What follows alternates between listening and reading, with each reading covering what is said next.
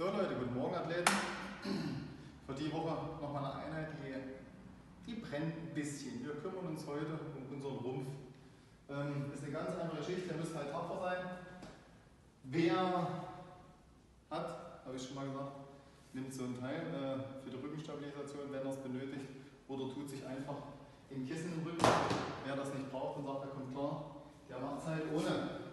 Das heißt, ihr legt euch auf den Rücken und versucht hier zu halten. Die Einsteiger können die Hände hier machen, die Fortgeschrittenen können sie ein bisschen mehr lang machen und dann geht das ein bisschen stärker auf die Bauchmuskulatur. Müsst ihr einfach mal probieren, ihr könnt es auch von Satz zu Satz variieren, die ganze Geschichte. Ich versuche da mal so 10 bis 30 Sekunden zu halten, ja, bis ihr merkt, es wird enger, aber nicht bis zum Versagen.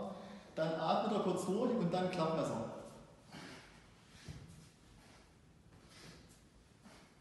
Davon macht er so 5 bis 10 Stück, je nach Athletenniveau. Ihr könnt auch 15 machen. Ja? Also immer erstmal das Halten wirklich bis kurz vorm Versagen, ja, dass er sagt, okay, 2-3 Sekunden könnte ich noch, der ganze Körper zittert und dann einmal tief durchatmen und Klappmesser hinterher feuern. Okay?